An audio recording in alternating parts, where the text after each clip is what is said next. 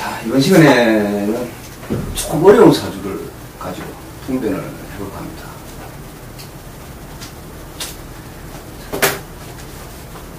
이 사주는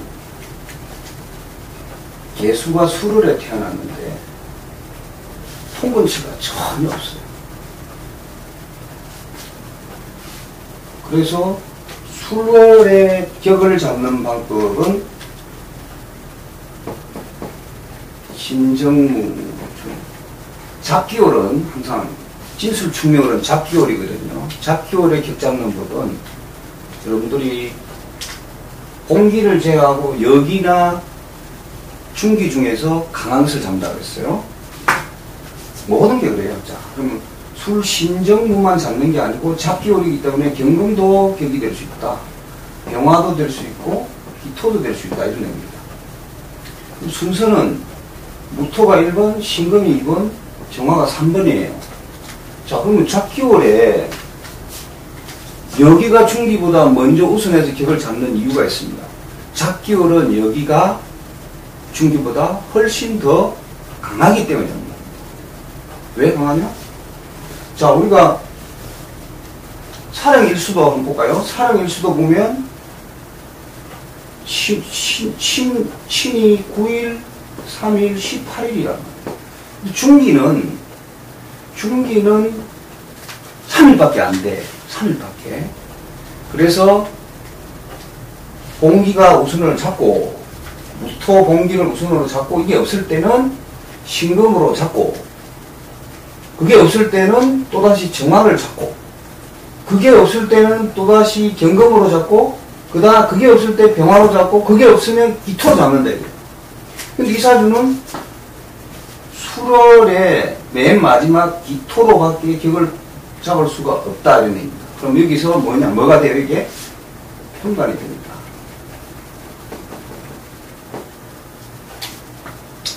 자 그럼 이 사주를 종격으로 볼 것이냐 내격으로 볼 것이냐가 하나의 관건이 됩니다. 자 비겁이 비겁이 일간 포함해서 세 개나 있어도 통근처가 전혀 없기 때문에 통근처가 전혀 없기 때문에 이 사주를 종격으로 보는 경우도 있고 또 내격으로 보자니 지지가 너무 통근이 없어가지고 이걸 내격으로 보려니까 또 좀 안 맞는 것 같고 그래서 이분은 이제 미국 살아요.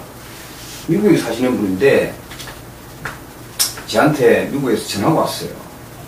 자기는 여태까지 내 사주를 정확하게 알아내는 사람이 한 사람도 못 봤다. 그래서 선생님 유튜브 강의를 보니까 선생님은 좀 알아맞힐 것 같아가지고 네, 제가 문의를 합니다 하면서 전화가 왔어요. 심지어 이분이 있잖아요. 대한민국에서 최고 유명하다는 예전에 포항제철 박태준 회장도 헬기 타고 가서 상담했다는 그분하고 그 집에서 어떤 뭐 연유가 있어가지고 3개월인가 살았대. 살았는데도 그분도 자기 사주를 제대로 못 찾아내더라는 겁니다. 못 읽어내더라. 그래서 제가 이제 이 양반이 자기 생년월일 시만 툭 던져주고 예, 이메일로 보내주세요. 이렇게 했어요. 이메일로 자기 사주를 설명해 주십시오. 그래서 제가 이, 이 사주를 보고서 대단한 고민을 했습니다. 이걸 종격으로 볼 것이냐, 아니면 내격으로 볼 것이냐. 그게 많은 고민을 좀 했어요. 했는데, 이분이 뭐 어땠다 저땠다 얘기는 저한테 일절 저한테 준 정보가 없어요. 그런데 제가 내린 딱 결론은 뭐냐, 이 사주는 종살격이 아니다. 종살격이 안 되는 근본 이유가 딱 한 가지가 있습니다. 뭐냐면은, 이 사주에서 이 임수가 임수 대신에 개수였다면, 개술이라는 건 없지만 예를 들어서 임수 대신에 개수였다면 이 사주는 여지없는 종사로 간다. 그러나 이 사주는 임수라는 게 있어요. 자, 여러분들이 얘기 들어본 게 있을 거예요. 가끔 우리 명리하는 사람들이 그런 얘기를 해요. 양가는 길을 따른다.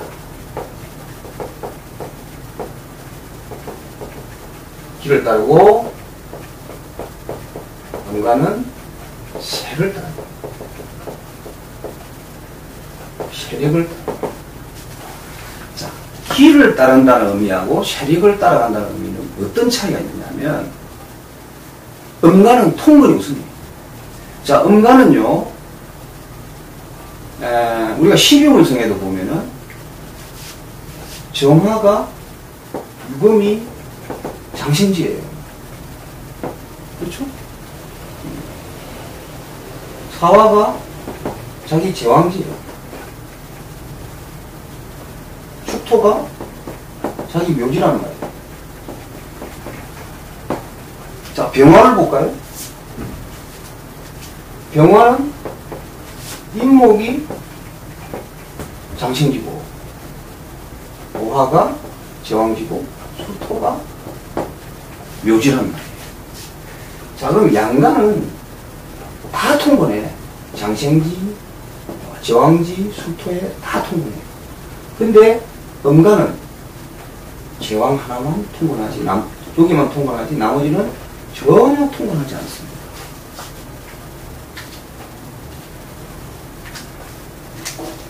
그래서 음간은 통분이 없으면, 통분이 없으면, 그걸 따라가지는 않습니다. 그래서 음간이 종을 잘해. 음간이 원래, 음간이 종을 잘하고 양간은 종을 잘, 한, 웬만하면 안 하려고 합니다. 자, 그런데 이 사주에서 이 사주가 종이 안 된다고 내가 판단한 이유 중에 하나는 뭐냐면, 양간은 세력을, 길을 따른다고 했어요. 양간은 길을 따 세력을 따라가는 게 아니야. 그럼 뭐냐? 술을 다음에는 무슨 월이에요? 해월이에요. 임수 입장에서는 다음 달에 내 근록이 들어오기 때문에 지금 이 상황에서는 종 못한다. 종 못한다. 자, 양간에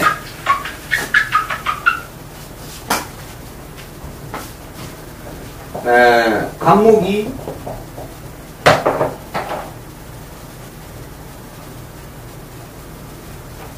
축을에 태어나도 종을 안 해요. 통근이 하나도 없어요.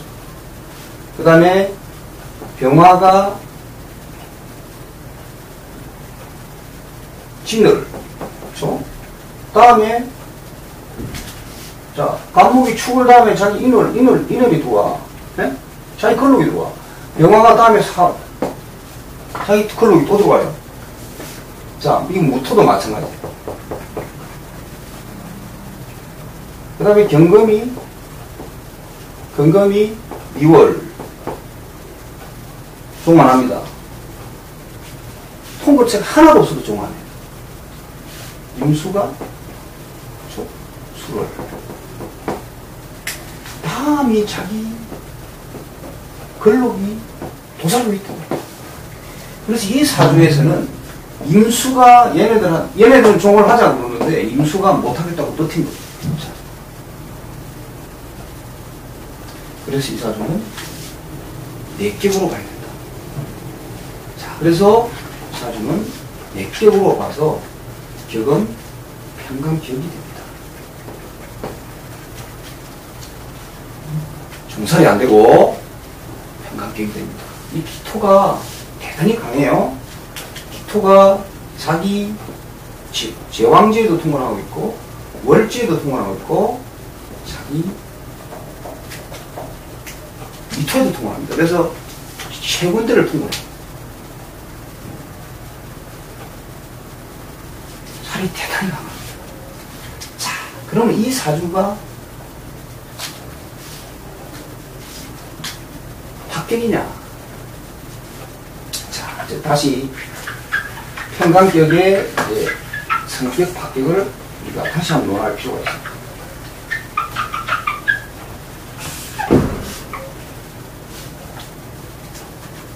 중앙격의 성격 바꿈 중에 첫째는 식신으로습니다 식신 재살, 재성이 없어, 없어야 된다고 했어. 두 번째, 상간으로 재살한다. 이때도 재성이 없어야 된다. 세 번째, 인성으로 살인상생. 이때도 재성이 없어야 된다. 그랬어요. 자, 네 번째는 양인 합살. 자, 이거는 양단만 해당된다. 그죠? 양단. 다섯 번째는 상관합살. 이건 음간이 상관합살. 개수의 상관이 간목인데 갑기합으로 해서 할 수 있다. 여기 상관합살합니다. 여기서 이운에서 상관합살. 여섯 번째는 합살 유관하거나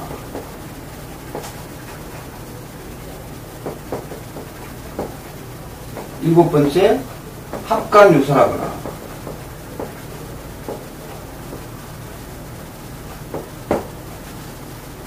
자 여덟 번째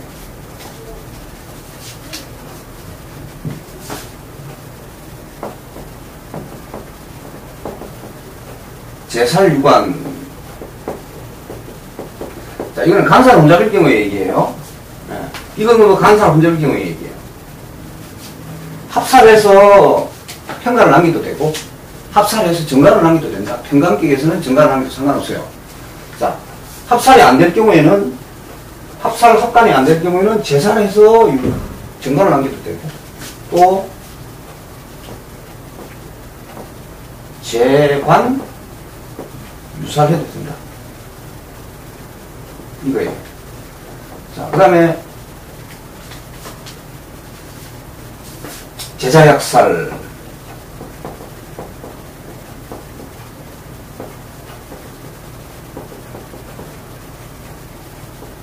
자, 제자약살은 현간의 격이 약할 때 격이 약할 때는 오로지 월지만 통근하고 잡기월에 두거나 봉기도 아니고 잡기월에 봉기가 아니고 여기나 중기에서 통근하면 현간이 약한 거예요.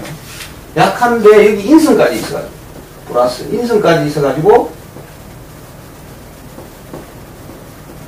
더 평간을 설계할 때는 재성을 용신한대요. 평간도 살려줘야 된다. 그래서 재성으로 자윤한다. 자윤. 자윤이란 말은 에,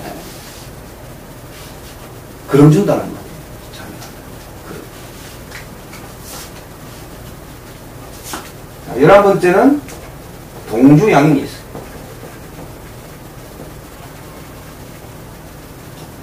동주양인. 동주양인은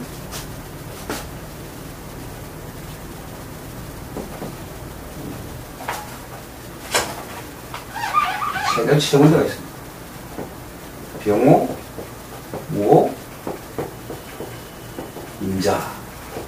한, 같은 주에서 병, 병, 병화, 병화가 여기 있고 우화가 뭐 이쪽으로 나와 있다든가 저쪽으로 가 있다든가 하면 안 되고 같은 주에서 일, 이거는 일간일 경우에요. 일주. 동주양은 반드시 일주해야 한다. 힘으로 버티겠다.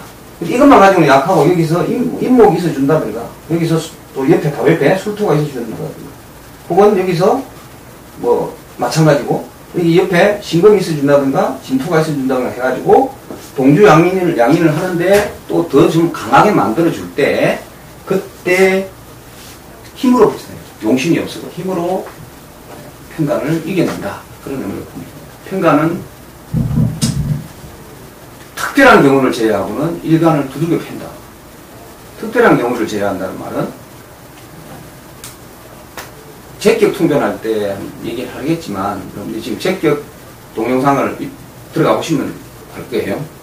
제격에 비극이 많을 때는 평간이 일간만 공격하는 게 아니고 비겁을 누르는 역할을 합니다.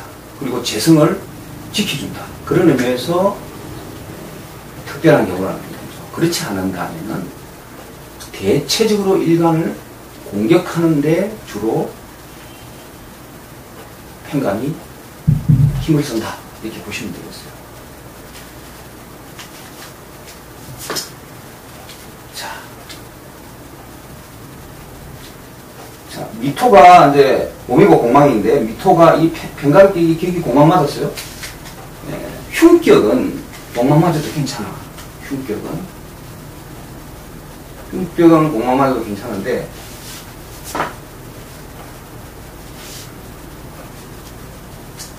성격은 공망, 공망 맞으면은 격이 많이 떨어집니다. 성격은 흉왕, 흉왕이기 때문에 공망이 되더라도 괜찮은데 일격은 격이 많이 떨어진다. 자, 공망은 공망을 우리가 자주 볼 때 봐야 됩니다. 공망이 중요해요. 어, 특히 육층 공망. 자, 공망에는 세 종류가 있습니다. 자, 첫째는 오행인 공망만. 목이 공망이냐, 화가 공망이냐, 토가 공망이냐, 금이 공망이냐, 수가 공망이냐.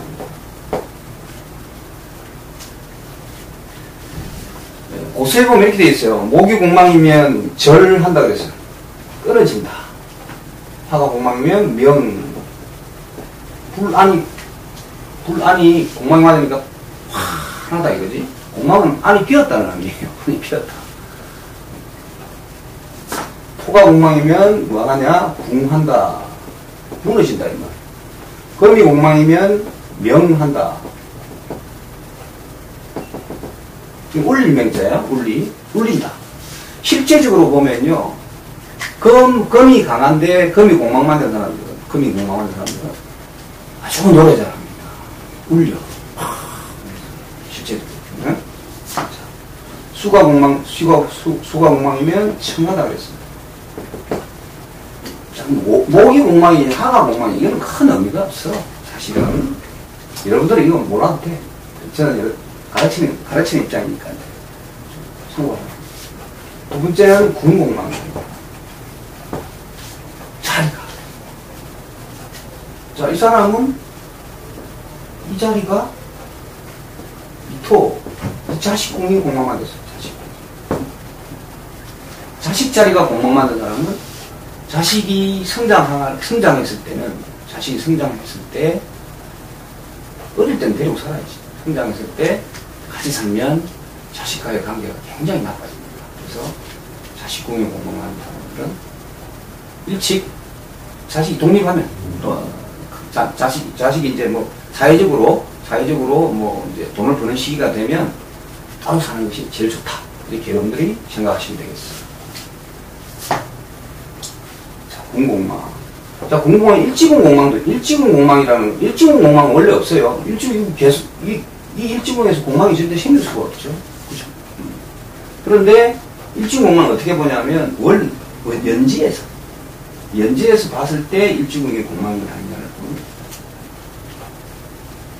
이분은, 이분은 또 일지공도 공망이야. 그쵸? 진사가 공망이니까, 여기서 볼 때. 개사, 개묘는 진사가 공망이더라. 그래서 일지공 공망이다. 일지공 공망은 부인과의 관계, 이게 무난하지 못하고, 또 허전하다. 집에 가면 마누라는 있는 것 같은데 허전하다. 이렇게 볼 수도 있습니다. 자, 세 번째 중요한 게 뭐냐. 세 번째는 육친공망입니다. 자, 육친은 부모, 형제, 처자를 가지고 따지는 거예요. 정관이 공망 맞았다. 여자 사주에 정관이 공망이다. 그럼 뭐냐? 내 남편이 공망 맞았다는 얘기예요. 남자 사주에 정제가 공망이다. 그럼 그것은 뭐냐? 내 마누라 공망 맞았다는 거예요. 내 마누라 공망 맞았다. 음. 그럴 때는 그런 에, 여자 사주의 정관 공망 이혼의 조건에 들어가 있습니다. 그런 분들 혼자 살 수도 있고 이혼할 수도 있고 사별할 수도 있다. 우리 이 학문에서는 이혼, 사별, 생이별, 그 다음에 뭐 어, 뭐 이혼, 사별, 혼자 사는 거 이거는 거의 똑같은 개념으로 취급한다. 결국은 혼자거든, 결국은. 그래서 그런 것을 그래서 육친이 공망 맞으면 육친 공망은 육친 공망은 우리 이 학문에서는 대단히 중요하다. 이렇게 보시면 되겠어요. 그래서 육친 공망을 잘 봐야 된다. 육친뿐만 아니라 또 격이 공망 맞는 경우, 격이 격이 공망이라든지 또 용신이 공망이라든지 이렇게 되면 사주의 격이 좀 떨어진다. 이렇게 보시면 되겠어요. 자, 여기서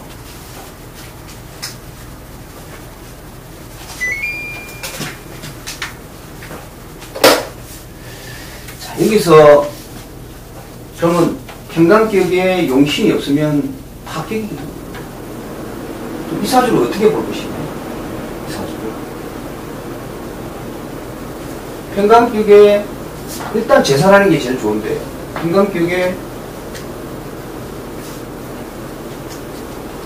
용신을 청간, 용신은 항상 천간에 찾아라 그랬어요, 제가. 용신은 무조건 천간에 찾는데, 지지에서 나타날 때도 있다.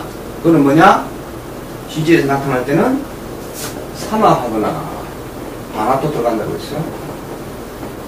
혹은, 방합. 방북이라고 하죠. 임묘진, 사오미, 신유술. 아, 임묘, 임, 임묘진, 사오미, 신유술, 해자축 이렇게 방국을 형성할 때 이때 때는 천간으로 동해서 올라온다고 했어요. 천간이 주인이고 지지는 하인이에요. 그래서 하인이 세력의 힘이 커지면 천간으로 천간 일에 관련한다. 그래서 이 사주는 기지에서 용신이 나타납니다. 묘미, 묘미합으로 목에 목으로 기토를 무등생이다. 그러면 목이 뭐냐? 묘미합이니까 결국은 이거는 삼합은 삼합은 어, 음령이 없어요. 식신이냐 상관이냐를 떠나서 그냥 식상이 기토를 제압을 했다. 그래서 일단 기본적인 격에서는 성격됐다. 자, 물로를 볼게요.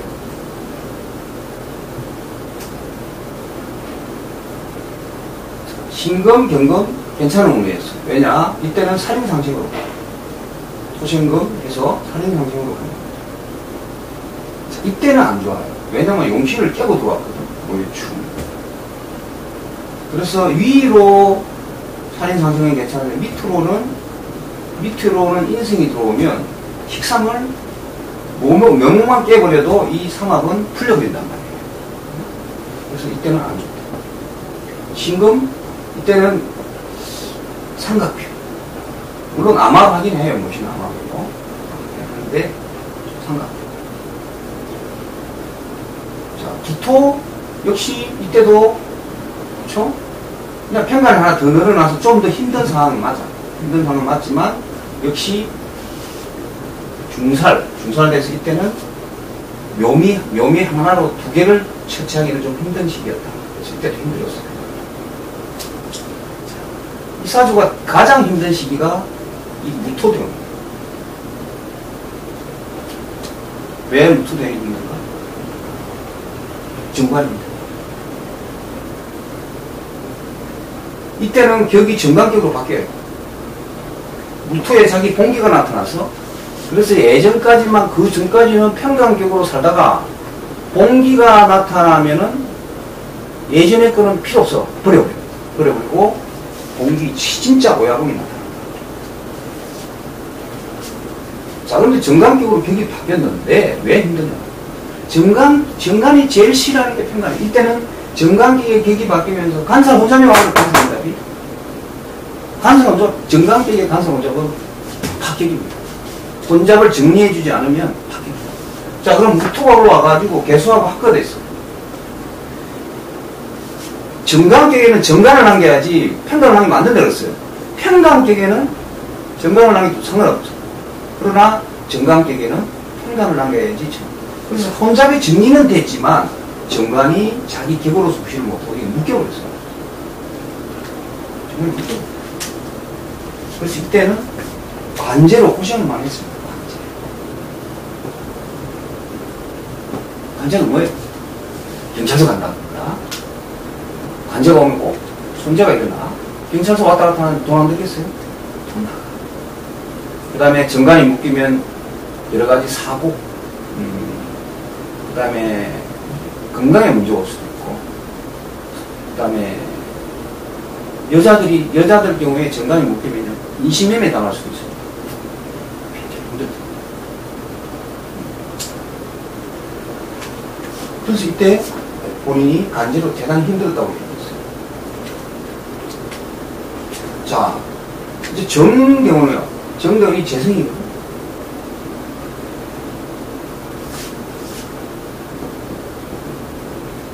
이때는 제격으로 격이 바뀝니다. 이 토가 맨 마지막에 잡은 거거든. 그러면 지금 원래 지장간에 있던 정화가 여기 있어. 있으면 이때는 격이, 이때는 제격, 제격, 제격으로 격이 바뀝니다. 자, 제격으로 격이 바뀌니까 이때는 재생산입니다.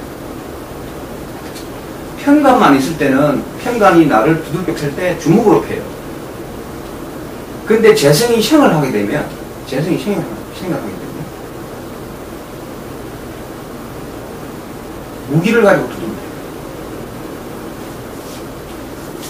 자, 비겁이, 이 비겁들이 재성을 좀 눌러줬다가 하더라도, 하더라도 어느 정도 영향을 재성을 저기도 약간 힘들겠어요. 그래서 이때 본인의 얘기로는 한국에서 사고 쳐가지고 미국으로 도망갔대요. 무슨 대단히 힘든 일을 겪고 그래서 미국으로 자 음, 지금 55세예요. 제가 이분하고 상담을 했을 때가 딱한 3년 전인가 그랬을 거예요. 그래서 3년 전에 4년 전인가 그랬을 텐데 그때는 이 병화대운이 오질 않았어요. 그래서 제가 그랬어요.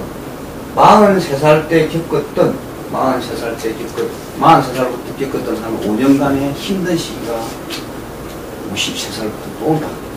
그래서 당신 그때 준비해라. 하, 죽는다 이때. 빛이 환장하게 만든다. 이때 준비해. 그래서 에, 57 본인 생일까지 대우는 항상 대우는요 본인 생일, 생일 기점으로 바뀐다고 보시면 돼요. 본인 음력 생일 기점으로 대운이 바뀌어요. 때문에 50, 53살 딱 들어서자마자 이 운으로 작동, 작동되는 게 아니고 53살 수를 자기가 태어난 날 유화돼야 돼요. 그러면 본인이 느끼는 거는 거의 54살 돼서 느껴요. 54살. 그래서 이 사주는 거의 4대운으로 가도 돼요. 54살이니까 58까지가 병화대운으로 가니까 55부터 진토대운이니까 그 전에 그까지는 대단히 힘들다. 내가 각오해야 겠어요 왜? 병화대운을 자기가 겪어봤기 때문에 그와 비슷한 시기라고 내가 얘기를 해요. 금방 알아요. 금방. 자, 진, 이때 진토로 내려오면 이제 얘네들이 통고체가 쫙 만들어졌어요.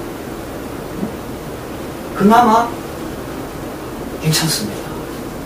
또 여기 지금 용신이 있잖아요. 지금 묘미 용신이 묘미 용신으로서 재산하고 일간이 일간이 통근할 수 있는 통근처가 진토대원이 만들어졌다. 이 사주는 내격으로 봐야 되기 때문에 하는 얘기예요. 외격에서는 통근처가 만들어지면 내격으로 돌아가요. 돌아가서 봐야 됩니다.